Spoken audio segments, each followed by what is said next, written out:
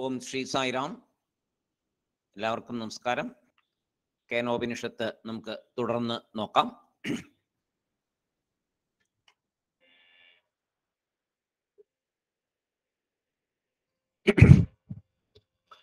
ഓ ആപ്യായന്തു മമാങ്കാനി വാക് मधो बलमिन्द्रियाणि च सर्वाणि सर्वं ब्रह्मोपनिषितं माघं ब्रह्म निराकुर्याम् मा ब्रह्म निराकरोदनिराकरणमस्तु अनिराकरणं मेस्तु तदात्मनि निरतेय उपनिषत्सु धर्मास्ते मयि सन्तु ते मयि सन्तु ॐ शान्तिशान्तिः केनेषितं पतति प्रेषितं मनः। केन प्राणप्रथमप्रैदियुक्तः केनेषितां वाचमिमां वदन्ति चक्षुश्रोत्रं क उदेवो युनक्ति। श्रोत्रस्य श्रोत्रं मनसो मनो यद् वाचोह वाचं स उप्राणस्य प्राणस्य प्राणः चक्षुषश्चक्षुरतिमुच्यधीराः प्रेत्यास्माल्लोकादमृता भवन्ति। न तत्र चक्षुर्गच्छति। न वाग्गच्छति नो मनः। न वित्नो न विजानीमो यदैतदनुशिष्यात्।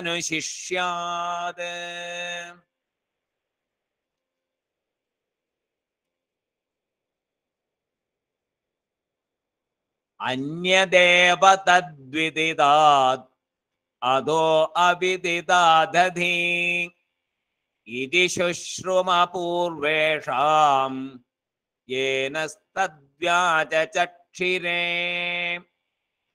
അന്യദേവ തദ്വിദിതാത് അതോ അവിദിതാദധി ഇതി ശുശ്രുമപൂർവേഷാം യേനസ്തദ്വ്യാചക്ഷിരേ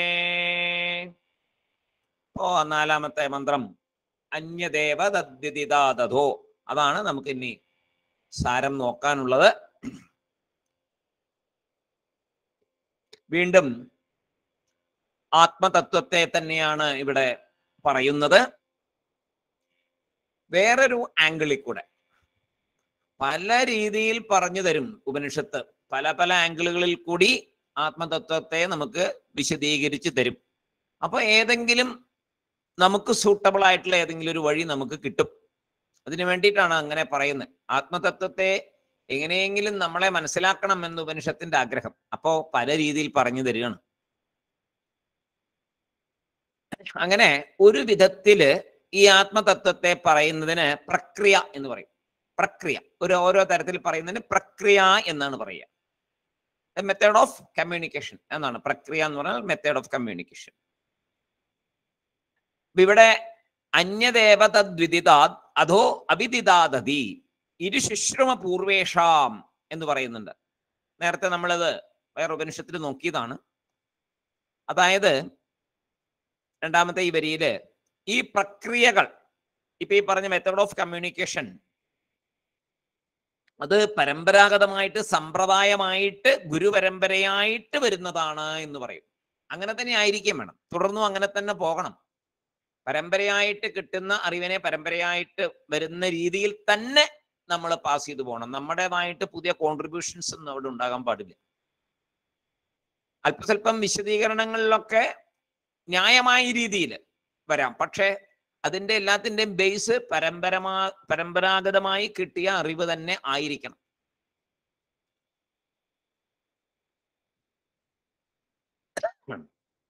അപ്പൊ ഗുരുപരമ്പരയായിട്ട് തന്നെ വേണം അത് ചെയ്യാൻ.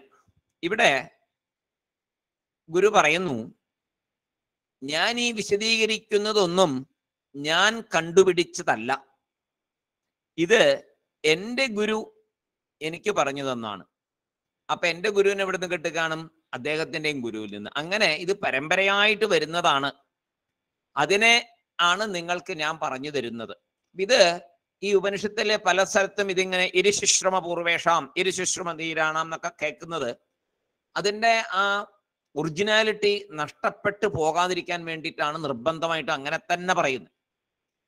നമുക്ക് തോന്നുന്ന പോലെ സംസ്കൃതത്തിൽ പല അർത്ഥമുണ്ട്. അതുകൊണ്ട് പല പല അർത്ഥങ്ങളെ വെച്ച് അങ്ങനെ വ്യാഖ്യാനിക്കാൻ പാടില്ല. പണ്ടത്തെ ആ പരമ്പരയായിട്ട് കിട്ടിയിരിക്കുന്നത് അവർ തപസ് ചെയ്തുണ്ടാക്കിയതാണ്. ഓരോ ഋഷിമാരും തപസ് ചെയ്തിട്ടാണ് അവർക്ക് ഈ അറിവൊക്കെ ഉണ്ടായിരിക്കുന്നത്. നമ്മളിപ്പോ വെറുതെ ഭാഷ പഠിച്ചിട്ട് തപസ്സൊന്നുമില്ല നമുക്കറിയാലോ. നമ്മൾ ഈ ഭാഷ പഠിച്ചിട്ട് ഭാഷയിലെ കുറെ കാര്യങ്ങളൊക്കെ മനസ്സിലാക്കി ഡിഗ്രികളൊക്കെ എടുത്തു എന്ന് പറഞ്ഞിട്ട് ഉപനിഷത്തിനെയും മറ്റും പലരും ചെയ്യുന്നുണ്ട്. പക്ഷേ ആ എക്സ്പ്ലനേഷൻസ് ഒക്കെ ശങ്കരാചാര്യ സ്വാമി ചെയ്ത വിശദീകരണവും മറ്റ് ആചാര്യന്മാർ ചെയ്തിരിക്കുന്ന വ്യാഖ്യാനങ്ങളൊക്കെയുമായിട്ട് കമ്പയർ ചെയ്യുമ്പോൾ അതൊന്നും ഒന്നുമല്ല എന്ന് മനസ്സിലാവും. എന്താ വെച്ചാൽ ശങ്കരാചാര്യ സ്വാമികളും അഹ് മറ്റു വ്യാഖ്യാതാക്കളൊക്കെ ചെയ്തിരിക്കുന്നത് ഇതുപോലെ ഈ പരമ്പരാഗതമായിട്ടുള്ള ആ അറിവിനെ സ്വരൂപിച്ച് അത് കയ്യിൽ വെച്ചുകൊണ്ട് അത് ബേസാക്കി വെച്ചുകൊണ്ടുള്ള കാര്യങ്ങളാണ് ചെയ്തിരിക്കുന്നത്. അപ്പോ ശങ്കരാചാര്യ സ്വാമിക്കൊക്കെ അപ്പുറമായിട്ട് നമുക്ക് ചെയ്യാൻ പറ്റുമോ അത് നമ്മൾ ചിന്തിക്കേണ്ട കാര്യമില്ല. നമ്മളെ കൊണ്ട് സാധിക്കുന്ന കാര്യമല്ല. കാരണം അത് ഈശ്വര അവതാരമാണ് അപ്പോ ആ വഴിയെ ഒരിക്കലും ഉപേക്ഷിക്കരുത് എന്നുള്ളത് നിർബന്ധമാണ്. പിന്നെ നമ്മളിപ്പോ ഇവിടെ പറയുന്നതിന്റെ കാര്യം എന്താണെന്ന് വെച്ച് കഴിഞ്ഞാൽ നമ്മൾ ആർക്കെങ്കിലും ഇത് പറഞ്ഞു കൊടുക്കുമ്പോൾ നമ്മൾ ഇത് പഠിച്ചു. പത്ത് പേർക്ക് പറഞ്ഞു കൊടുക്കണം. അറിയുന്നവർക്ക് ആഗ്രഹമുള്ളവർക്ക് ഉപനിഷത്ത് അറിയണമെന്ന് ആഗ്രഹമുള്ളവർക്കൊക്കെ പറഞ്ഞു കൊടുക്കണം. അതാണ് നമ്മുടെ ധർമ്മം. പഠി അറി അറിയാൻ മാത്രമല്ല മറ്റുള്ളവർക്ക് പറഞ്ഞു കൊടുക്കുന്നതും കൂടെ നമ്മുടെ ധർമ്മമാണ്. അപ്പൊ നമ്മൾ എങ്ങനെ ചെയ്യണം? നമുക്ക് തോന്നിയ മാതിരി നമ്മൾ ചെയ്യാൻ പാടില്ല. നമ്മൾ ഈ ഗുരുപരമ്പരയായിട്ട് പറഞ്ഞു തന്നിരിക്കുന്നത് എന്തോ അതിനെയേ നമ്മൾ അങ്ങോട്ട് പറഞ്ഞു കൊടുക്കാൻ പാടുള്ളൂ. അതാണ് അതിന്റെ ഈ വരിയുടെ പ്രത്യേകത. അപ്പോ അതിനൊരു കാര്യം കൂടെ പറയുന്നു. ശിഷ്യൻ പഠിക്കുന്ന സമയത്ത് തത്വം മനസ്സിലാക്കണം എന്നുള്ള ആഗ്രഹത്തോടെ വേണം ശിഷ്യൻ ഇരുന്ന് പഠിച്ചുകൊണ്ടിരിക്കാൻ. എനിക്ക് ഈ ബ്രഹ്മതത്വം മനസ്സിലാകണം. അതിനുവേണ്ടി ഞാൻ ഇതാ ഉപനിഷത്ത് പഠിക്കണം തുടങ്ങുന്നു വേദാന്തം പഠിക്കാൻ തുടങ്ങുന്നു. എന്റെ ഗുരു പറയുന്നു തരുന്നത് ഞാൻ വളരെ ശ്രദ്ധാപൂർവം കേൾക്കുന്നു. എന്തിനു വേണ്ടിയിട്ട്? എനിക്ക് ആത്മതത്വം അറിയാൻ വേണ്ടിയിട്ട് മനസ്സിലാക്കാൻ വേണ്ടിയിട്ട്. വേറെ ഇതിനെ ഇപ്പൊ ഗുരു പറഞ്ഞു തരുന്നതിനെ വേറെ ഒരു വിധത്തിൽ ഇനി എങ്ങനെ പറയാം എന്ന് ശിഷ്യൻ ചിന്തിക്കരുത് എന്നാണ് പറയുന്നത്. ഗുരു ഇപ്പൊ പറഞ്ഞു തരുന്നതിനെ ആൾക്കാർക്ക് ഞാൻ ഇനി എന്റെ ഒരു വേറൊരു രീതിയിൽ ഒന്ന് പറഞ്ഞു കൊടുത്താലോ എന്ന് ചിന്തിക്കരുത്. അങ്ങനെ ചിന്തിച്ചുകൊണ്ട് അവിടെ ഇരുന്ന് പഠിക്കാനിരുന്നാൽ എന്താവും? നമുക്ക് വേണ്ട രീതിയിൽ ഗുരുവിന്റെ കയ്യിൽ നിന്ന് അത് മനസ്സിലാക്കിയെടുക്കാൻ പറ്റില്ല. നമ്മുടെ ശ്രദ്ധ മുഴുവൻ ഇത് വേറെ രീതിയിൽ പറഞ്ഞു കൊടുക്കാൻ ഉള്ള ആലോചനയിൽ പോകും. അപ്പൊ എന്തുണ്ടായി? നമുക്ക് ജ്ഞാനം നമുക്ക് വരില്ല. നമ്മൾ അജ്ഞാനിയായി തന്നെ തുടരും. കാരണം ആ ചിന്ത ആ സമയത്ത് ആ ചിന്ത വന്നാൽ നമുക്ക് അവിടെ മനസ്സിലാക്കാൻ പറ്റില്ലല്ലോ. അപ്പൊ ഞാൻ മനസ്സിലാക്കണം എന്നുള്ള ചിന്ത അവിടെ മാറിപ്പോവുകയാണ്. ഞാൻ ഇത് എങ്ങനെ വേറൊരു രീതിയിൽ പറയും എന്നുള്ള ചിന്തയിലേക്ക് പോകുമ്പോൾ നമുക്ക് ജ്ഞാനം വരില്ല അജ്ഞാനം മാറുകയില്ല. പറയാൻ വേണ്ടിയിട്ട് ക്ലാസ് എടുക്കാൻ വേണ്ടിയിട്ട് വേറൊരാൾക്ക് പറയാൻ വേണ്ടിയിട്ട് ആകരുത്. നമ്മൾ ആദ്യം ഇത് പഠിക്കുന്നത്. പഠിക്കുന്നത് എപ്പോഴും നമുക്ക് ജ്ഞാനം കിട്ടാൻ വേണ്ടിയിട്ട് മാത്രമായിരിക്കണം. അങ്ങനെ ജ്ഞാനം കിട്ടാൻ വേണ്ടി പഠിക്കുമ്പോൾ നമുക്ക് കിട്ടുന്ന അറിവിനെ മറ്റുള്ളവർക്ക് പകർന്നു നൽകാം. പക്ഷേ നമ്മുടെ ഉദ്ദേശം എന്തായിരിക്കണം? എനിക്ക് ആത്മജ്ഞാനം ഉണ്ടാകണം. അതിനുവേണ്ടി ഞാൻ പരിശ്രമിക്കുന്നു ഞാൻ പഠിക്കുന്നു എന്നുള്ളത് തന്നെ ആയിരിക്കണം നമ്മുടെ ഈ സമയത്തെയൊക്കെ ചിന്ത. അപ്പോ അങ്ങനെ ശരിയായ ശ്രദ്ധയോടെ പാലിച്ചാൽ വിഷയം മാത്രമല്ല ഗുരു പഠിപ്പിക്കുന്ന ആ സമ്പ്രദായമായിട്ട് വരുന്ന രീതിയും നമുക്ക് മനസ്സിലാവും. അത്രയും ശ്രദ്ധയോടെ ഇരുന്നാൽ ആ വിഷയം മാത്രമല്ല മനസ്സിലാവുക. ഗുരു പഠിപ്പിക്കുന്ന ആ സമ്പ്രദായം ആ രീതി എങ്ങനെയാണ് സമ്പ്രദായമായിട്ട് പഠിപ്പിക്കേണ്ടത് പാരമ്പര്യമായിട്ട് വരുന്നത് എങ്ങനെയാണ് എന്നും കൂടെ നമുക്ക് അപ്പൊ മനസ്സിലാവും. അപ്പൊ നമ്മൾ അതിൽ തന്നെ ഉറച്ചു നിന്ന് മുന്നോട്ട് പോകാൻ നമുക്ക് സാധിക്കും. അത് സ്വാഭാവികമായിട്ടുണ്ടാവും.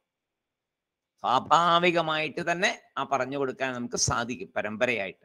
കാരണം അതൊരു ബൈ പ്രോഡക്റ്റ് ആണ്. നമ്മൾ ആത്മതത്വത്തെ മനസ്സിലാക്കണം എന്ന് ഗുരുവിന്റെ മുമ്പിൽ ഇരുന്ന് മനസ്സിലാക്കണം മനസ്സിലാക്കണം മനസ്സിലാക്കണം എന്നുള്ള ചിന്തയോടെ ഉണ്ടാ ഇരുന്ന് പഠിക്കുമ്പോൾ ഉണ്ടാകുന്ന ഒരു ബൈ പ്രോഡക്റ്റ് ആണ് സമ്പ്രദായമായ പരമ്പരാഗതമായ രീതിയിൽ ഇതിനെ ഇനി പറഞ്ഞു കൊടുക്കാൻ സാധിക്കുക എന്നുള്ളതും കൂടെ.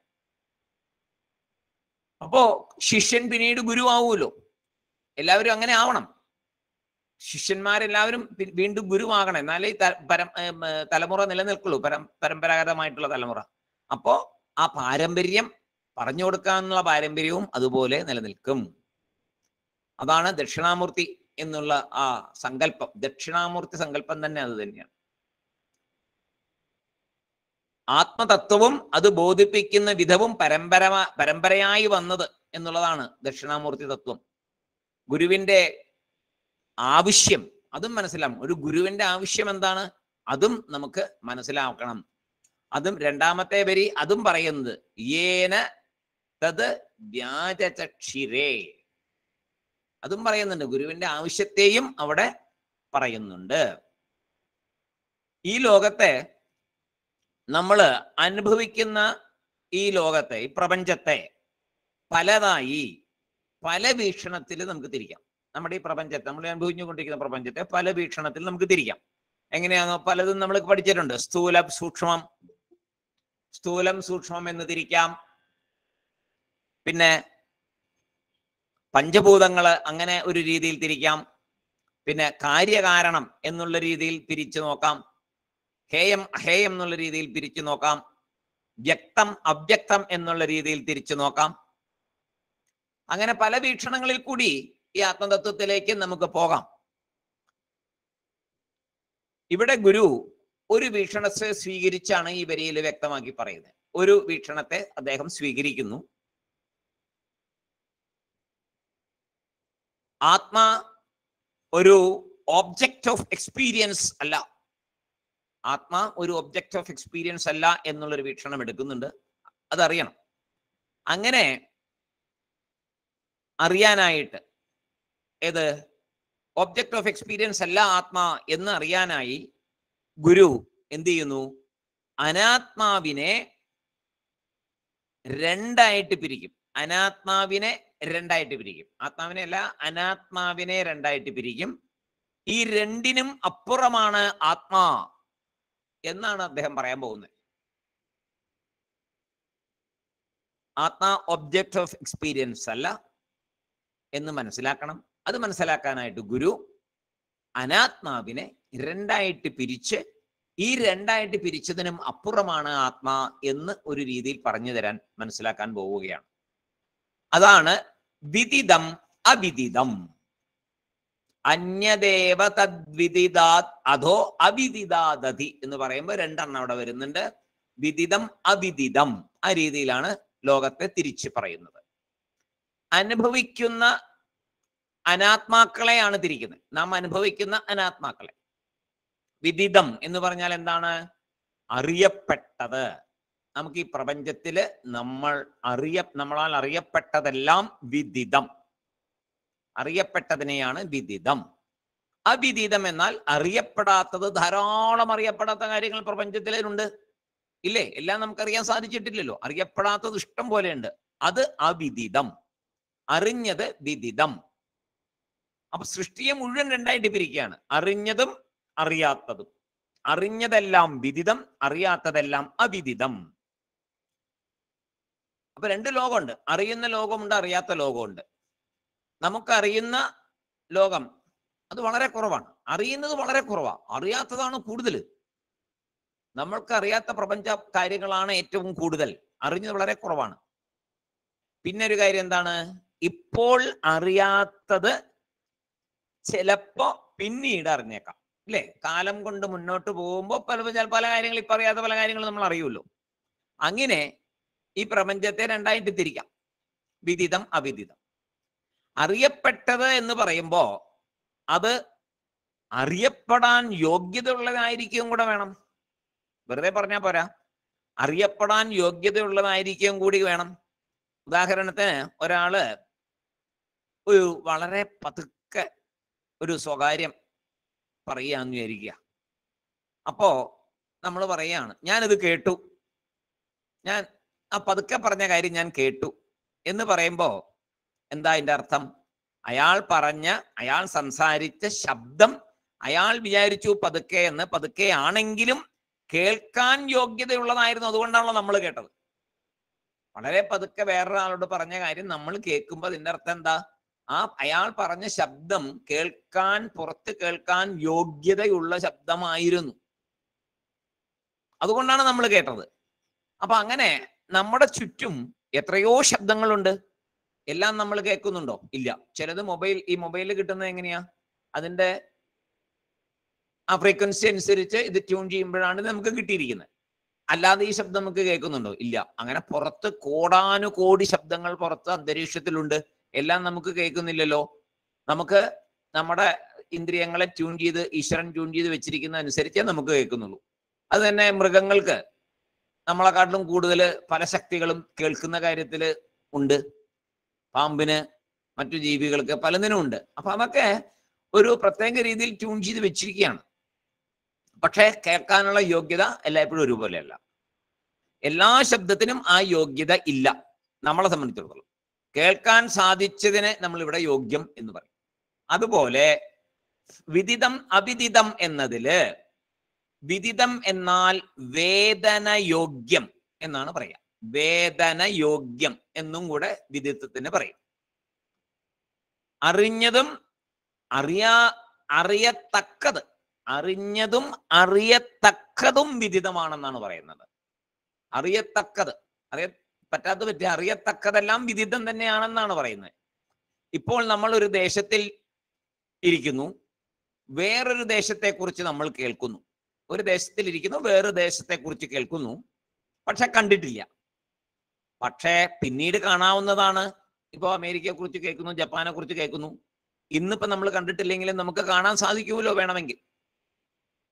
അപ്പോ ഇരിക്കുന്ന ദേശം വിദിതം. മറ്റേതോ അവിടെ ചെന്നാൽ കാണാവുന്നതാണ്. അതുകൊണ്ട് അതും വിദിതം.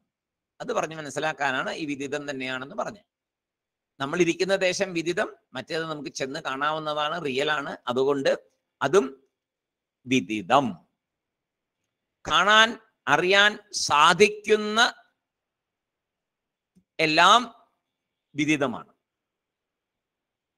ആർക്കെങ്കിലും അറിയാൻ പറ്റുന്നതും വിദിതമാണ്. നമുക്കറിയാൻ പറ്റുന്നത് മാത്രമല്ല വേറെ ആർക്കെങ്കിലും അറിയാൻ പറ്റുന്നുവെങ്കിൽ അതും വിദിതമാണ്. എല്ലാ ജീവരാശികളും കണ്ടതും അറിഞ്ഞതും എല്ലാം ജീവരാശികളാലും കാണാൻ സാധിക്കുന്നതും അറിയാൻ സാധിക്കുന്നതും വിദിതം. അതാണ് അതിന്റെ ഒരു നല്ലൊരു എക്സ്പ്ലനേഷൻ അതാണ്. എല്ലാ ജീവരാശികളും കണ്ടതും അറിഞ്ഞതും എല്ലാ ജീവരാശികളാലും കാണാൻ സാധിക്കുന്നതും അറിയാൻ സാധിക്കുന്നതും വിദിതം. ഇപ്പോ ഒരു കാലത്ത് ചന്ദ്രൻ ഇല്ലേ? മൂൺ ഒരു കാലത്ത് അവിദിതമായിരുന്നു. പിന്നീട് മനുഷ്യൻ ചന്ദ്രനിൽ ചെന്ന ശേഷമോ വിദിതമായി. അതുപോലെ പ്രപഞ്ചത്തിലെ പലതും ഇപ്പോൾ അവിദിതമാണ്. പക്ഷെ കാലക്രമേണ വിദിതമായേക്കാം. അനുഭവിച്ചതും അനുഭവിക്കാൻ സാധിക്കുന്നതും സമയം കാലം എന്നുള്ളതൊരു വിഷയമല്ല. അനുഭവിക്കാൻ അനുഭവിച്ചതും അനുഭവിക്കാൻ സാധിക്കുന്നതും. ആ അനുഭവിക്കാൻ സാധിക്കുന്നത് എന്നുള്ളതിന് സമയവും കാലവും ഒന്നും പ്രശ്നമല്ല. എപ്പോഴെങ്കിലും ഇപ്പൊ സ്ഥൂലവും സൂക്ഷ്മവും എന്താണത്? ഇമോഷണൽ വേൾഡ് ഇല്ലേ? ഇന്റലക്ച്വൽ വേൾഡ് എന്നൊക്കെ പറയും. നമ്മൾ അറിഞ്ഞ് അറിയുന്നുണ്ട്. പല എനർജികളും കൊണ്ട് പല പ്രവർത്തനങ്ങളും നടക്കുന്നതായിട്ട് നമുക്കറിയാം. പലതരം എനർജികൾ ഈ പ്രപഞ്ചത്തിലുണ്ട്. അതുകൊണ്ട് പല കാര്യങ്ങളും നടക്കുന്നതായിട്ടും അറിയാം. പക്ഷെ ആ എനർജിയെ നമുക്ക് കാണാൻ പറ്റാറില്ല. സൂക്ഷ്മമാണ്. സൂക്ഷ്മതത്തിലും സൂക്ഷ്മമാണ് ആ എനർജികൾ. ആ പ്രവർത്തിക്കപ്പെടുന്ന ഏത് വസ്തുവാണോ പ്രവർത്തിക്കപ്പെടുന്നത് അതിനെ നമുക്ക് ഇലക്ട്രിസിറ്റി അല്ലേ എനർജിയാണ്. നമുക്ക് കാണാൻ പറ്റില്ല. പക്ഷെ അതേസമയം പ്രവർത്തിക്കുന്ന വസ്തുവിനെ കാണാം. അപ്പൊ അതിൽ കൂടി അതുണ്ട് എന്ന് നമ്മൾ മനസ്സിലാക്കുന്നു. അങ്ങനെ പലതും ഉണ്ട്. അപ്പൊ ആ സൂക്ഷ്മത്തെ നമ്മൾ കാണുന്നില്ല. അതൊക്കെ സൂക്ഷ്മമാണ്. സൂക്ഷ്മത്തെ കാണുന്നില്ലെങ്കിലും ആ സൂക്ഷ്മം ഉണ്ട് എന്ന് നമ്മൾ അറിയുന്നുണ്ട്. നമ്മൾ അത് അനുഭവിക്കുന്നും ഉണ്ട്. സൂക്ഷ്മത്തെ കാണുന്നില്ലെങ്കിലും ഉണ്ട് എന്നറിയുന്നുണ്ട് അനുഭവിക്കുന്നുണ്ട്. ഇപ്പൊ ഒരു വിത്ത് എടുക്കുക. അല്ലേ നമ്മൾ വിത്ത് എത്ര തരം വിത്തുകൾ നമ്മളുണ്ട് ഒരു വിത്ത് എടുക്കുക. അതിന്റെ അകത്തിരിക്കുന്ന കാരണസ്വരൂപം. വിദിതമോ അവിദിതമോ? എന്നാൽ എങ്ങനെ വേണമെങ്കിലും ആകാം. അല്ലേ വിദിതമാകാം അവിദിതമാകാം. ഒരു ആംഗിളിൽ വിദിതമാണ്. വേറൊരു ആംഗിളിൽ അവിദിതമാണ്. ഒരു വിത്തിനകത്തുള്ള ആ സൂക്ഷ്മ തത്വം അനുഭവിക്കാൻ പറ്റാത്തത് അവിദിതം. അതെന്താണ് നോക്കാം. അനുഭവിക്കാൻ പറ്റാത്തത് അവിദിതം. ഊഹം മാത്രമായത് അവിദിതം. ഊഹം. ഒരു ഊഹം കൊണ്ട് പറയുക. അനുഭവിക്കാൻ പറ്റില്ല അതൊരു ഊഹമാണ്. അത് അവിദിതം. പിന്നെ വേറൊരു തരത്തിൽ അവിദിതത്തിനെ പറയാം. എന്താണ്? വിദിതമല്ലാത്തതെല്ലാം അവിദിതം അങ്ങനെയും പറയാലോ? വിദിതമല്ലാത്തത് അവിദിതം ഊഹം മാത്രമായത് അവിദിതം അനുഭവിക്കാൻ പറ്റാത്തത് അവിദിതം അപ്പൊ ഇങ്ങനെയൊക്കെ പറഞ്ഞു വിധം അവിധത്തിനെ വളരെ നല്ല രീതിയിൽ ഇങ്ങനെ അത് വിശദമാക്കി. അതിന്റെ വ്യാഖ്യാനം നിന്നു. പക്ഷെ ഇതിന്റെ സാരം എന്താ? എന്താ അതിന്റെ സാരം? അറിയപ്പെട്ടത് അറിയപ്പെടാത്തത്. അതാണ് സാരം. അറിയപ്പെട്ടത് അറിയപ്പെടാത്തത്. അറിയപ്പെടാത്തതിൽ ഒരു തത്വം അന്തർലീനമായിരിക്കുന്നു. അറിയപ്പെടാത്തതിൽ ഒരു തത്വം അന്തർലീനമായി അന്തർലീനമായിരിപ്പുണ്ട്. അത് ഒരു കാലത്തും അറിയപ്പെടാത്തതാണ്. അത് ഒരു കാലത്തും അറിയപ്പെടാത്തതാണ്. അപ്പൊ അതിനെ ചിലർ ശൂന്യം എന്ന് പറയും. ചിലരതിനെ ശൂന്യം എന്ന് പറയും. ആ ശൂന്യലോകത്തെ കുറിച്ച് എന്ന് പറയുമ്പോൾ അത് അവിദിതമായിട്ട് പറയും. ശൂന്യം എന്ന് പറയും. അങ്ങനെ പറയുന്നു ആ ലോകത്തെ കുറിച്ച് അത് അവിദിതം എന്ന് പറയും. ഇവിടെ ഉപനിഷത്ത് ആത്മതത്വത്തെ ഉപദേശിക്കുന്നത്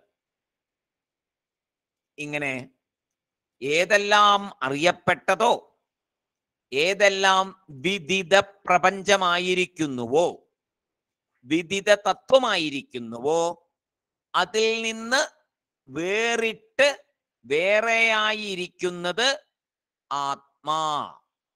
ഇതാണ് ആദ്യത്തെ ഒരു സ്റ്റേറ്റ്മെന്റ് ആണ്. ഫസ്റ്റ് സ്റ്റേറ്റ്മെന്റ് ഏതെല്ലാം അറിയപ്പെട്ടതോ ഏതെല്ലാം വിദിത പ്രപഞ്ചമായിരിക്കുന്നുവോ വിദിത തത്വമായിരിക്കുന്നുവോ അതിൽ നിന്ന് വേറിട്ട് വേറെയായിരിക്കുന്നത് ആത്മാ.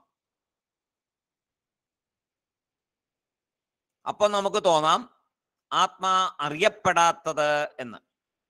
അപ്പൊ എന്ത് തോന്നും? ആത്മാ അറിയപ്പെടാത്തതാണ് എന്ന് തോന്നില്ലേ? ഇത് കേൾക്കുമ്പോ തോന്നും. അപ്പോഴാണ് രണ്ടാമത്തെ സ്റ്റെപ്പ് വരുന്നത് ഒരു ഉപദേശം. എന്താണത്? രണ്ടാമത്തെ സ്റ്റെപ്പ് ഉപദേശമായിട്ട് വരുന്നത്? നീ അറിയാത്തതിനേക്കാളും വേറിട്ടത്. അറിയപ്പെട്ടതിൽ നിന്ന് വേറിട്ടത് വേറെയായിരിക്കുന്നത് എന്ന് പറഞ്ഞു. ഇനി പറയാണ് അറിയപ്പെടാ അറിയാത്തതിനേക്കാളും വേറിട്ടത് എന്ന് അടുത്ത ഉപദേശം. ആത്മാ നീ അറിഞ്ഞതിനും മേലെ അറിയാത്തതിനും മേലെ. അറിഞ്ഞതിനും അറിയാത്തതിനും അതിൽ രണ്ടിൽ നിന്നും വ്യത്യസ്തമായത്. ആത്മാ എന്ന് പറയുന്നത് ആത്മതത്വം അറിഞ്ഞതിനും മേലെ അറിയാത്തതിനും മേലെ അറിഞ്ഞതിനും അറിയാത്തതിനും വ്യത്യസ്തമായിരിക്കുന്നത്. അപ്പൊ ഇത് മനസ്സിലാകുന്നില്ലല്ലോ എന്ന് പറയുമ്പോൾ ഇതിൽ കൂടുതൽ മനസ്സിലാക്കി തരാനും പറ്റില്ല എന്നും പറയാം. ഇതിൽ കൂടുതൽ മനസ്സിലാക്കി തരാൻ പറ്റില്ല എന്നും പറയാം. വിവിധത്തിൽ നിന്നും അവിദിതത്തിൽ നിന്നും വേറിട്ട് ആണ് ആത്മാ. അന്യത് ഏവ തത് വിദിതാത് അന്യദേവ തദ്വിദിതാത് തത് എന്നാൽ ആ ആത്മതത്വം വിദിതാത് അറിഞ്ഞതിനേക്കാളും അന്യത് ഏവ വേറെയായിരിക്കുന്നു. അന്യത് ഏവ തത് വിദിതാത് തത് എന്നാൽ ആത്മതത്വം വിദിതാത് അറിഞ്ഞതിനേക്കാളും അന്യദേവ വേറെയായിരിക്കുന്നു.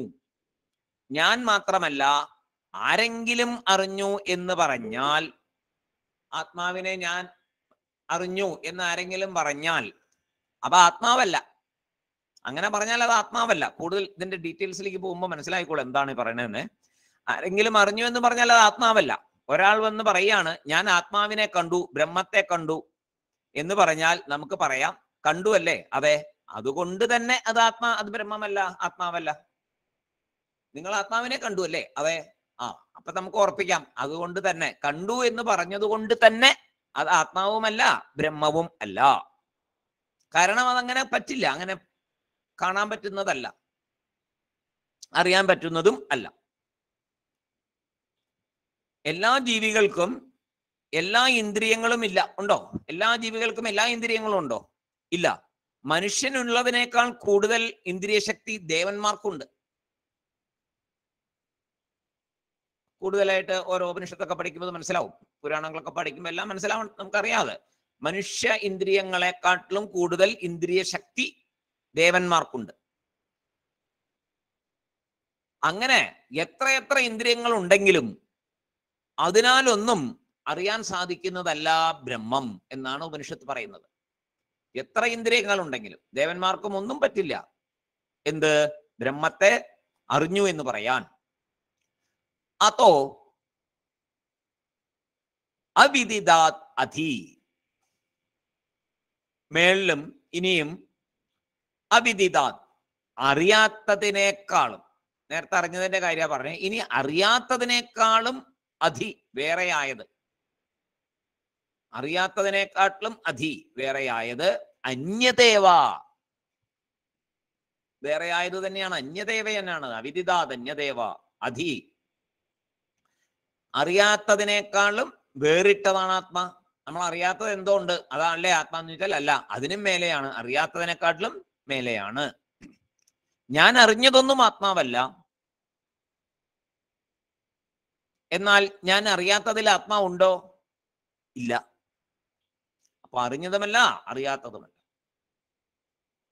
മായ ശൂന്യം ഇവയൊക്കെ എന്താണ്? അവിദിതമാണ്. മായ ശൂന്യം ഇവയെല്ലാം അവിദിതമാണ്. ഇപ്പോൾ ഒരു സംശയം ഉണ്ടാകാം. ഈ പറഞ്ഞ രീതിയിൽ എന്തെങ്കിലും ഒന്നും ഉണ്ടാവുമോ എന്നൊരു സംശയം വരാമല്ലോ നാച്ചുറലി സംശയം വരാം. എന്നാണ് ശങ്കരാചാര്യ സ്വാമി പറയുന്നുണ്ട് അവിടെ ഇപ്പൊ ഈ പറഞ്ഞതിൽ അതായത് അറിഞ്ഞതുമല്ല അറിയാത്തതുമല്ല എന്ന് പറഞ്ഞാൽ അങ്ങനെ ഒരു സംഭവം ഉണ്ടാകുമോ? ഉപനിഷത്ത് പറയുന്നു അങ്ങനെ ഒന്നുണ്ടെങ്കിൽ അതാണ് ആത്മാ അതാണ് ബ്രഹ്മം. അങ്ങനെയൊന്നുണ്ടെങ്കിൽ അതാണ് ആത്മ അതാണ് ബ്രഹ്മ. അപ്പൊ ഈ ലക്ഷണം നന്നായിട്ട് ആലോചിച്ചാൽ ഈ ലക്ഷണത്തെ നന്നായിട്ട് ആലോചിച്ചാൽ ഞാൻ എന്ന സ്ഥലത്ത് മാത്രമേ ഇത് യോജിക്കുകയുള്ളൂ എന്ന് കാണാം. വലിയൊരു തത്വം വരികയാണേ.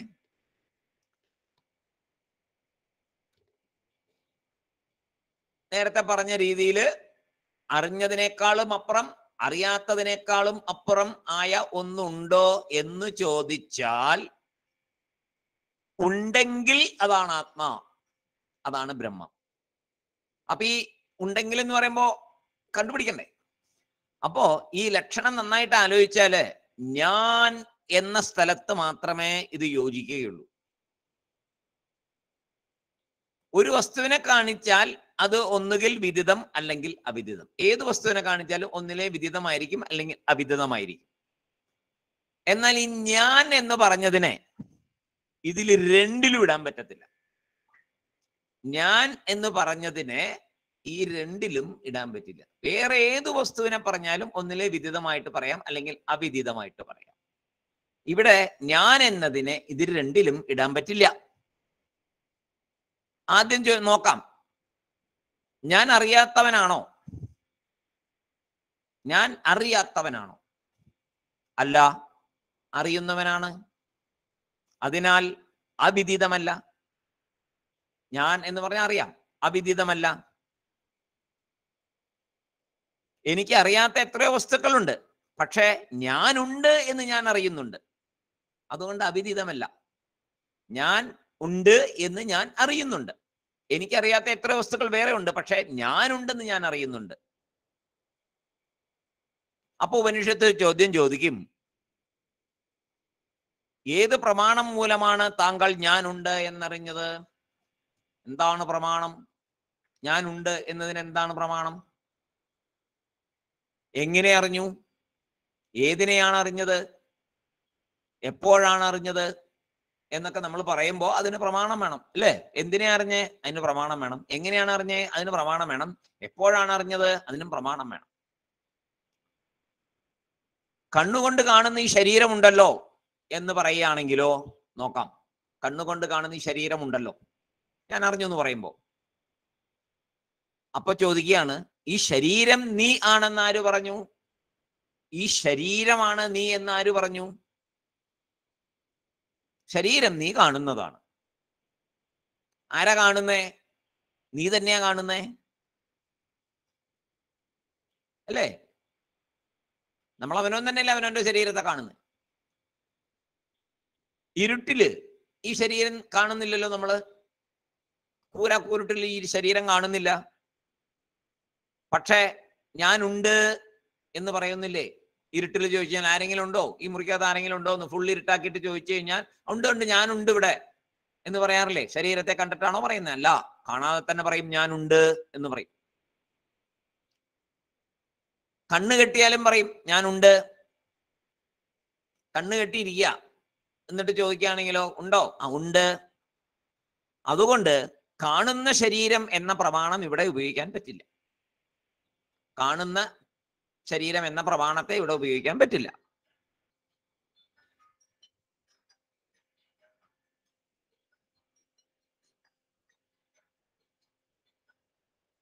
കാണുന്ന ശരീരം എന്ന പ്രമാണത്തെ ഇവിടെ ഉപയോഗിക്കാൻ പറ്റില്ല. ശരി എന്നാ ഊഹിച്ചറിയുവാൻ പറ്റുമോ? ഊഹിച്ചറിയാൻ പറ്റുമോ? ഇല്ല. കാരണം നാം ഉണ്ട് എന്നുള്ളത് ഒരു തർക്ക വിഷയമാണോ ഒരു തർക്കമാണോ അത്? അല്ലല്ലോ. തീർച്ചയാണ്. അപ്പൊ പിന്നെ ഊഹത്തിന്റെ കാര്യം വരുന്നില്ല. ഊഹം എന്ന് പറയുന്നത് തീർച്ചയില്ലാത്ത കാര്യത്തിനാണല്ലോ ഊഹം വരിക. നമ്മൾ ഉണ്ട് എന്ന് തർക്ക വിഷയം ഒന്നും നോക്കേണ്ട കാര്യമില്ല. ഉണ്ട് എന്നുള്ളത് തീർച്ചയാണ്. അപ്പോ അതും പറ്റില്ല. ഡു യു എക്സിസ്റ്റ് എന്ന് വെച്ചാൽ നമ്മൾ എന്ത് പറയും? യെസ് അതിനൊരു പ്രമാണവും വേണ്ട. യെസ് എന്ന് പറയാൻ ഒരു പ്രമാണവും വേണ്ട. അപ്പോൾ വിദിതം എന്നാൽ പ്രമാണത്തിനാൽ അറിയുന്നതാണ്. വിദിതം എന്ന് പറയുമ്പോൾ സാധാരണ നിലയ്ക്ക് പ്രമാണത്തിനാൽ അറിയുന്നതാണ്. ഒരു പ്രമാണത്താലും അല്ലാതെ പ്രമാണത്തിനാൽ അറിയുന്നെങ്കിൽ അറിയുന്നതിൽ നിന്നും വേറിട്ടത്. ഒരു പ്രമാണത്തിലും അല്ലാതെ. ഒരു പ്രമാണത്തിലും പെടില്ല. പ്രമാണത്തിനാൽ അറിയുന്നതിൽ നിന്നും വേറിട്ടതാണ് എന്ത്? അഹം. ഞാൻ. ആത്മ ഒരു പ്രമാണത്തിലും അല്ലാത്തതാണ്. ഒരു പ്രമാണത്തിനാലും അറിയുന്നതിൽ നിന്നും വേറിട്ടതുമാണ് അഹം അല്ലെങ്കിൽ ആത്മ. ഞാൻ ആരെ? ഞാൻ അറിഞ്ഞതിനേക്കാളും അറിയാത്തതിനേക്കാളും വേറിട്ടതാണ് ഞാൻ. അറിഞ്ഞതിനേക്കാളും അറിയാത്തതിനേക്കാളും വേറിട്ടതാണ് ഞാൻ. അപ്പോൾ ഞാൻ ആരാണ് ഞാൻ അറിഞ്ഞതിനെയും പ്രകാശിപ്പിക്കുന്നവൻ. അറിയാത്തതിനെയും പ്രകാശിപ്പിക്കുന്നവൻ. ഞാൻ ആരാണപ്പോൾ ഞാൻ അറിഞ്ഞതിനെയും പ്രകാശിപ്പിക്കുന്നവൻ. അറിയാത്തതിനെയും പ്രകാശിപ്പിക്കുന്നവൻ. അറിഞ്ഞതിനും സാക്ഷി അറിയാത്തതിനും സാക്ഷി. അറിഞ്ഞതിനും ഞാൻ സാക്ഷിയാണ്. അറിയാത്തതിനും ഞാൻ സാക്ഷിയാണ്. ഈ തത്വം ഇപ്പോ മനസ്സിലായിട്ടുണ്ടാവില്ല. പക്ഷേ ഈ തത്വത്തെ മനസ്സിൽ സൂക്ഷിക്കുക എന്ത് തത്വം? ഞാൻ അറിഞ്ഞതിനെയും പ്രകാശിപ്പിക്കുന്നവനാണ്. ഞാൻ അറിയാത്തതിനെയും പ്രകാശിപ്പിക്കുന്നവനാണ്. ഞാൻ അറിഞ്ഞതിനെല്ലാം സാക്ഷിയാണ്. ഞാൻ അറിയാത്തതിനും സാക്ഷിയാണ്. ഈ തത്വത്തെ മനസ്സിൽ സൂക്ഷിക്കുക മനസ്സിന് നമുക്ക് പക്വത വരുമ്പോൾ ഇത് തനിയെ മനസ്സിലാവും. ഒരുപാട് പക്വത വരണം ഇത് മനസ്സിലാവണമെങ്കിൽ. ഇപ്പൊ ഉപനിഷത്ത് തന്നെ അത് പറയുന്നു ഇപ്പൊ പെട്ടെന്ന് നിങ്ങൾക്ക് ഇത് മനസ്സിലാവില്ല. തൽക്കാലം ഇത്രയും മനസ്സിലാക്കി ഇത് മനസ്സിൽ സൂക്ഷിച്ചു വെക്കുക. പക്വത വരുമ്പോൾ ഇത് താനെ മനസ്സിലാകും. അപ്പോ ഉപനിഷത്ത് എന്താണ് പറഞ്ഞത്? ആത്മാ എന്നത് അന്യദേവ തദ്വിദിതാത് അറിഞ്ഞതിനേക്കാളും വേറിട്ടത് അതോ അവിദിതാത് അധി?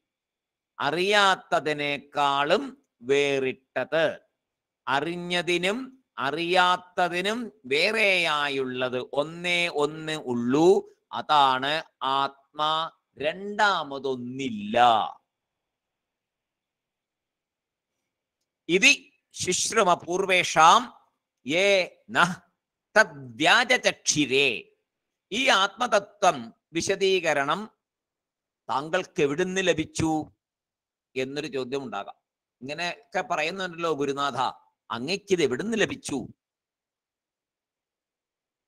ഇപ്പൊ ശിഷ്യനൊരു ആശ്ചര്യം ഉണ്ടാവും ഇത് കേൾക്കുമ്പോ. ഗുരുനാഥൻ ഇങ്ങനെ ആത്മതത്വത്തെ വിശദീകരിക്കുമ്പോൾ ശിഷ്യന് ആശ്ചര്യം ഉണ്ടാവും ഇത് എങ്ങനെ ഗുരുനാഥൻ ഇത് എങ്ങനെ മനസ്സിലാക്കി എന്ന്. അതുകൊണ്ടാണ് ഈ ജ്ഞാനം ആശ്ചര്യബദ് എന്ന് പലപ്പോഴും ശങ്കരാചാര്യസ്വാമി പറയാറുണ്ട്. ആശ്ചര്യവത എന്നുള്ള വാക്ക് ഉപയോഗിക്കാറുണ്ട്. പല സ്ഥലങ്ങളിലും ഉണ്ട് ഏതെന്തിനെ? ഈ ബ്രഹ്മജ്ഞാനം ആശ്ചര്യവത് എന്നുള്ള വാക്കിൽ ഉപയോഗിക്കും. ഈ ജ്ഞാനം ആശ്ചര്യവത്താണ് എവിടുന്ന് കിട്ടി എന്ന് ചോദിക്കുമ്പോൾ ഗുരു പറയുന്നു എന്റെ ഗുരുവിനോട് ചോദിക്കണം. കാരണം എന്റെ ഗുരുവിന്റെ കയ്യിൽ നിന്നാണ് എനിക്ക് കിട്ടിയേ. ആ ഗുരുവിന് എവിടെ നിന്ന് കിട്ടിയെന്ന് ആ ഗുരുവിന്റെ മുകളിൽ ചോദിക്കണം. അങ്ങനെ ഇത് ഒരു പരമ്പരയായിട്ട് വന്ന അറിവാണ്. പരമ്പരയായിട്ടേ ഈ അറിവ് വരുള്ളൂ. പക്വത വരുമ്പോൾ ഞാൻ അറിഞ്ഞതിനെയും പ്രകാശിപ്പിക്കുന്നവൻ ഞാൻ അറിയാത്തതിനെയും പ്രകാശിപ്പിക്കുന്നവൻ ഞാൻ അറിഞ്ഞതിനും സാക്ഷി ഞാൻ അറിയാത്തതിനും സാക്ഷി എന്ന ആ തത്വം പക്വത വരുമ്പോൾ മനസ്സിലാവും. ഇത് എന്നാൽ ഇതുവരെ ആത്മതത്വം എങ്ങനെ ഉപദേശിക്കപ്പെട്ടുവോ അത് ഇത് ശിശ്രമ തീരാണം എന്നാണല്ലോ ഇത് ശുശ്രമ പൂർവേഷം അപ്പോ ഇത് എന്നുള്ളത് ഇതുവരെ ആത്മതത്വം എങ്ങനെയാണോ ഉപദേശിക്കപ്പെട്ടിരിക്കുന്നത് അത് ശുശ്രുമ ഞങ്ങൾ കേട്ടു. പൂർവേഷാം ഞങ്ങളുടെ പൂർവികരായ ഗുരുനാഥന്മാരിൽ നിന്ന്. ഏ ആ ആചാര്യന്മാർ നഹ ഞങ്ങൾക്ക് തത്. ആ ബ്രഹ്മതത്വത്തെ വ്യാജചക്ഷിരേ. വിശദീകരിച്ചു തന്നുവോ? അത് നിങ്ങൾക്ക് നിങ്ങൾ പറഞ്ഞു തരുന്നു എന്നാണ്.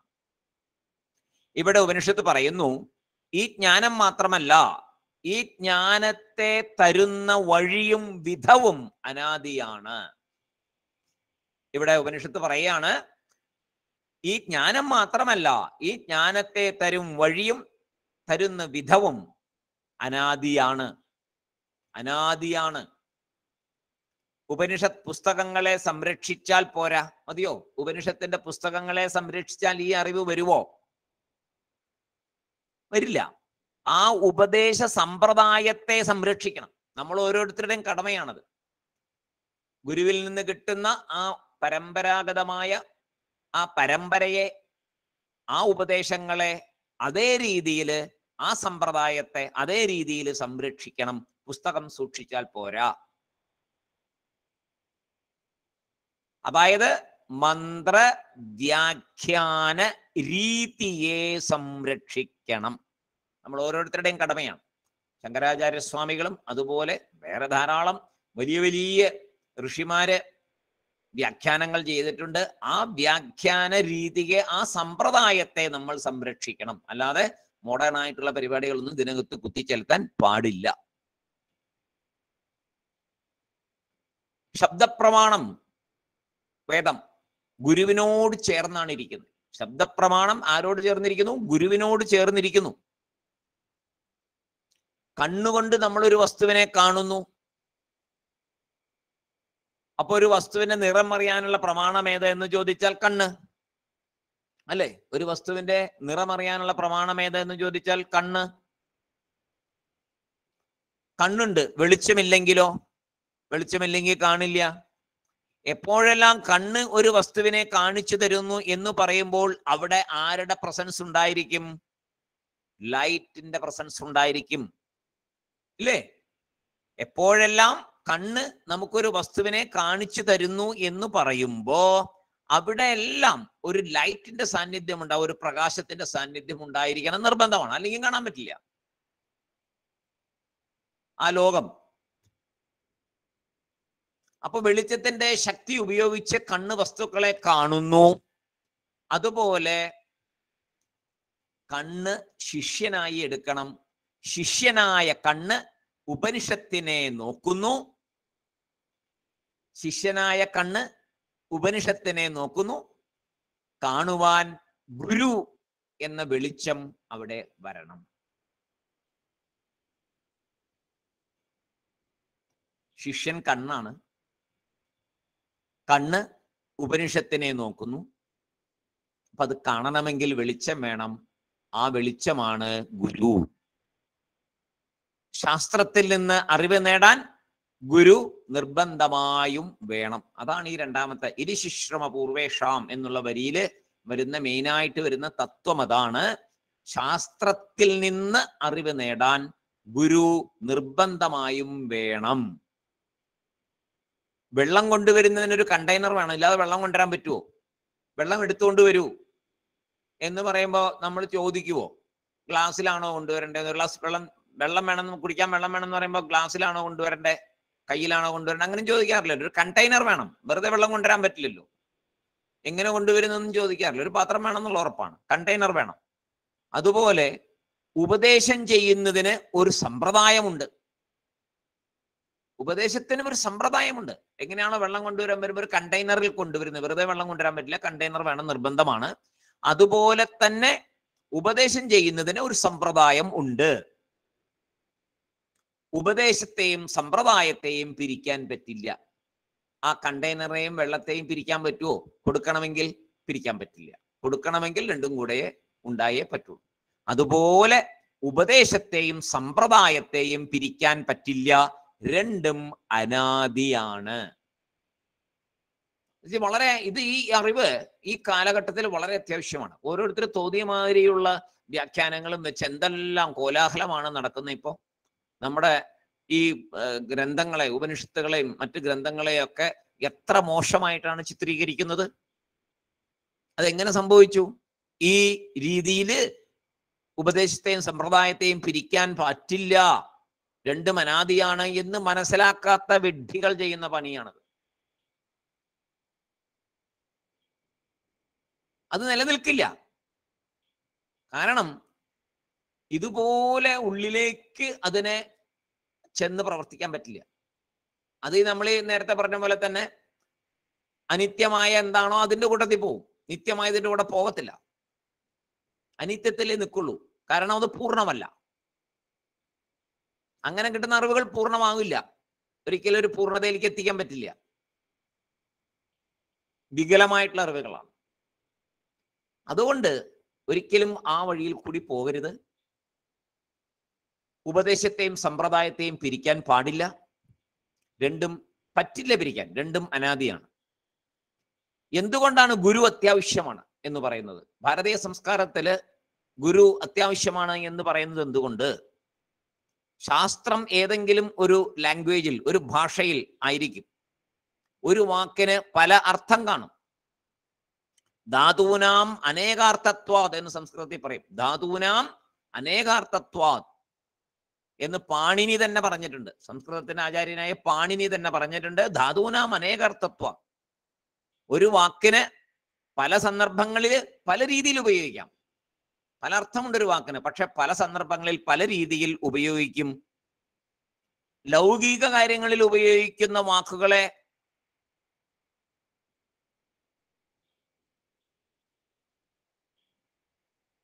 ഉപയോഗിക്കുന്ന ലൗകിക കാര്യങ്ങൾക്ക് ഉപയോഗിക്കുന്ന വാക്കുകളെ വേണം വേദത്തിലും ശാസ്ത്രത്തിലും ഉപയോഗിക്കാൻ. പറഞ്ഞ് വ്യാഖ്യാനം പറഞ്ഞു കൊടുക്കുമ്പോൾ മനസ്സിലാവണമല്ലോ എല്ലാവർക്കും അറിയുന്ന വാക്ക് ഉപയോഗിക്കണം. അത് ആവശ്യമാണ് അല്ലെങ്കിൽ മനസ്സിലാക്കില്ല. എല്ലാവർക്കും പറ്റുന്ന വാക്കുകളായിരിക്കണം ലൗകികത്തിൽ ഉപയോഗിക്കുന്ന വാക്കുകളായിരിക്കണം അതിനെ വ്യാഖ്യാനം ചെയ്ത് വരുമ്പോൾ പറഞ്ഞു കൊടുക്കാൻ. പക്ഷെ ആ വാക്കിന്റെ ഏത് അർത്ഥം എവിടെ പ്രയോഗിക്കണം എന്ന് ഒരു ഗുരു പറഞ്ഞു തന്നാലേ മനസ്സിലാവുള്ളൂ. ലൗകികമായിട്ടുള്ള വാക്കുകൾ ഉപയോഗിക്കണം ശാസ്ത്രത്തിനകത്ത് ഉപയോഗിക്കുമ്പോൾ വേദം പഠിപ്പിക്കുമ്പോൾ എല്ലാവർക്കും അറിയുന്ന വാക്കുകൾ പദങ്ങൾ ഉപയോഗിക്കണം. ഏറ്റവും ഈസി ആയിട്ട് കൺവേ ചെയ്യാൻ പറ്റണം മീനിങ് പക്ഷേ ആ പദത്തിന്റെ അർത്ഥം എവിടെ പ്രയോഗിക്കണം ഏതർത്ഥം എടുത്ത് പ്രയോഗിക്കണം എന്ന് ഗുരു പറഞ്ഞു തന്നാൽ മാത്രമേ അത് നമുക്ക് മനസ്സിലാവുള്ളൂ. ഡിക്ഷണറി മീനിങ് ഇവിടെ ഉപയോഗിക്കാൻ പറ്റില്ല. ഒന്നിനും ഡിക്ഷണറി മീനിങ് ഉപയോഗിക്കാൻ പറ്റില്ല. ഇനി ഒരു ഒരു സെന്റൻസ് എടുക്കുക എന്ന് വിചാരിക്കുക അപ്പൊ എന്തുണ്ടാവും? ഒരു സെന്റൻസിന്റെ കാര്യം നോക്കുകയാണെങ്കിൽ ചിലത് ഉപദേശവാക്യമായ അല്ലാതെ അനുവാദവാക്യം എന്ന് പറയും. ചിലതിന് ഉപദേശവാക്യം ചിലതിന് അനുവാദവാക്യം എന്നായിരിക്കും. രണ്ടു തരം വാക്യങ്ങളുണ്ട്. അനുവാദവാക്യം പ്രമാണവാക്യം. ശിഷ്യന് അറിയുന്ന കാര്യത്തെ വീണ്ടും ഗുരു എടുത്തു പറയുന്നത് അനുവാദവാക്യം എന്ന് പറയും. ശിഷ്യൻ അറിയുന്നതിന് ഗുരു വീണ്ടും എടുത്തു പറയുന്നു. ശിഷ്യൻ അറിയാമെന്നുള്ളത് ഗുരുവിന് അറിയാം. എന്നിട്ടും അദ്ദേഹം അത് വീണ്ടും എടുത്തു പറയുകയാണ് എന്തുകൊണ്ട്? അതിനാവശ്യമുണ്ട്. അപ്പൊ അത് അനുവാദവാക്യം. ശിഷ്യന് അറിയാത്ത കാര്യത്തെ പറഞ്ഞു കൊടുക്കുന്നത് പ്രമാണവാക്യം എന്ന് പറയും. ശിഷ്യൻ അറിയാത്തതിനെ പറഞ്ഞു കൊടുക്കുന്നതിന് പ്രമാണവാക്യം എന്ന് പറയും. അനുവാദം എന്ന് പറയുമ്പോൾ അവിടെ അക്സെപ്റ്റൻസ് ആണ്. ഒന്നാമത്തെ സ്റ്റെപ്പ് ശിഷ്യൻ പറഞ്ഞതിനെ അക്സെപ്റ്റ് ചെയ്യും. ശിഷ്യൻ അറിയാം എന്നുള്ളതിനെ ഗുരു അക്സെപ്റ്റ് ചെയ്യുന്നു. അത് അനുവാദവാക്യം ഇത് തന്നെയാണ് അധ്യാരോപ അപവാദത്തിലും വരുന്നത്. അല്ലേ? നേരത്തെ നമ്മൾ പഠിച്ചത് അത്. അധ്യാരോപ അപവാദത്തിലും ഇത് തന്നെയാണ് വരുന്നത്. ഇപ്പോ ബൃഹദാരണ്യോപനിഷത്തിൽ സത്യസ്യ സത്യം എന്നൊരു വാക്കുണ്ട്. സത്യസ്യ സത്യം. സത്യമായ ലോകത്തിന് സത്യമായിരിക്കുന്നത് ബ്രഹ്മം. പെട്ടെന്ന് മനസ്സിലാവുമോ സത്യമായ ലോകത്തിൽ സത്യമായിരിക്കുന്നത് ബ്രഹ്മം. ഇതിൽ ആദ്യത്തെ സത്യം അനുവാദവാക്യമാണ്. അതായത് ശിഷ്യൻ ഈ ലോകം സത്യമാണെന്നാണല്ലോ വിചാരിക്കുന്നത് അപ്പോ ആ ശിഷ്യൻ വിചാരിക്കുന്ന സത്യത്തെയാണ് ഇവിടെ ഗുരു പറയുന്നത്. സത്യസ്യ സത്യം എന്ന് പറയുമ്പോൾ ശിഷ്യൻ വിചാരിക്കുന്ന സത്യം. അതായത് ഈ ലോകം സത്യമാണ് എന്ന് വിചാരിക്കുന്ന സത്യം. അതിനെ ഗുരു ആദ്യം അംഗീകരിക്കുന്നു. അപ്പൊ അത് അനുവാദവാക്യമായി. സത്യസ്യ സത്യം. അപ്പൊ എന്തായി? സിത്യൻ ശിഷ്യൻ സത്യമാണെന്ന് വിചാരിക്കുന്ന ഈ ലോകത്തിന് ഏതാണോ ശരിക്കും സത്യമായിരിക്കുന്നുവോ അത് ബ്രഹ്മം. സത്യസ്യ സത്യം. അപ്പൊ രണ്ടും അനുവാദവാക്യം വന്നു പ്രമാണവാക്യവും വന്നു. ആദ്യത്തെ സത്യം സത്യമല്ല. രണ്ടാമത്തേതാണ് ശരിക്കും സത്യം. എങ്ങനെയാണ് ഇത് തിരിച്ചറിയുക? അത് സമ്പ്രദായത്തിൽ കൂടിയേ ഗുരുവിന്റെ ഉപദേശത്തിൽ കൂടിയേ തിരിച്ചറിയാൻ പറ്റുള്ളൂ. സത്യസ്യ സത്യം എന്ന് പറയുന്നതിന്റെ അർത്ഥം വരുമ്പോ ഗുരുവിൽ കൂടി അല്ലാതെ ഇത് തിരിച്ചറിയാൻ പറ്റില്ല. സമ്പ്രദായത്തിൽ കൂടി പരമ്പരയിൽ കൂടി മാത്രമേ ഇത് തിരിച്ചറിയാൻ സാധിക്കുള്ളൂ. അപ്പൊ ഇത്രയും വലിയ ഒരു വിശദീകരണമാണ് ആ നാലാമത്തെ മന്ത്രത്തിന് ഇവിടെ തന്നിരിക്കുന്നത്.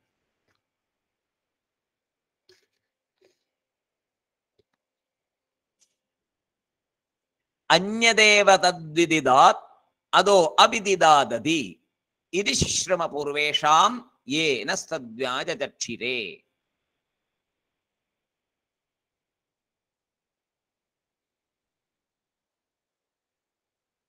ബ്രഹ്മം അറിയപ്പെട്ടതിൽ നിന്നും അറിയപ്പെടാത്തതിൽ നിന്നും ഭിന്നമായിട്ടുള്ളതാണെന്ന് അതിനെപ്പറ്റി വ്യാഖ്യാനിച്ചു തന്ന ആചാര്യന്മാരിൽ നിന്നും ഞങ്ങൾ കേട്ടിട്ടുള്ളത് അങ്ങനെയാണ് എന്നാണ് ആ രണ്ടു വരിയുടെ അർത്ഥം. അതിനെ നമ്മുടെ ഉള്ളിൽ കൂടുതലായിട്ട് അതിന്റെ സത്ത് കയറ്റിവിടാനായിട്ടാണ് ഇത്രയും വിശദീകരണം രംഗകാര്യ സ്വാമികൾ മറ്റാചാര്യന്മാരും ഒക്കെ തന്നത്.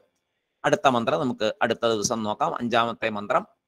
വീണ്ടും ഇത് തന്നെ അഞ്ചു മുതൽ ഒമ്പത് വരെ ഒരേ രീതിയിലാണ് ഇനി മന്ത്രങ്ങൾ വരിക. മൂന്ന് പ്രധാന കാര്യങ്ങൾ അവിടെ പറയും. ഒരു മഹാവാക്യം ഉണ്ടായിരിക്കും. ആത്മതത്വത്തെ ഇന്ദ്രിയ മന അഗോചരം അപ്രമേയം എന്നൊക്കെ പറയും. പിന്നെ സഗുണ ബ്രഹ്മ നിഷേധം വരും. അങ്ങനെയുള്ള കാര്യങ്ങളാണ് ഇനി ഉള്ള അഞ്ചു മുതൽ ഒമ്പത് വരെയുള്ള മന്ത്രങ്ങളിൽ വരിക. മൂന്ന് പ്രധാന കാര്യങ്ങളായിട്ട് വരും അവ. നമുക്ക് അടുത്ത ദിവസം അഞ്ചാമത്തെ മന്ത്രം അടുത്ത ദിവസം നോക്കാം. എല്ലാവർക്കും സായിറാം. എല്ലാവരുടെ പാദങ്ങളിലും നമസ്കാരം. ഇത് വേണ്ട രീതിയിൽ നമ്മുടെ ഉള്ളിൽ മനസ്സിലാകാനായിട്ട് ശങ്കരാചാര്യ സ്വാമികളും ഭഗവാൻ സായിബാബ എല്ലാവരും അനുഗ്രഹിക്കട്ടെ എന്ന് പ്രാർത്ഥിക്കുന്നു. ഹരിഹി ഓം തത്സത് ബ്രഹ്മാർപ്പണമസ്തു.